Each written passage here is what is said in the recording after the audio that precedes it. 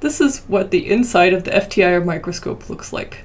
There's a power supply up here on the left side, and then a lot of this other mirrors and such on the left side are to control the IR beam and laser from go either going into the microscope or being blocked. There's a little mirror at the base here that moves when you switch to the infrared light. There's also little belts that switch mirrors back and forth at the base, so when you turn on the view light, actually in the base here, you can see that a belt moves the mirror back and forth underneath the microscope. When you turn the lights on and on with the toggles in the front of the microscope, you can see them on the side here. You can also see the MCTA detector in the back.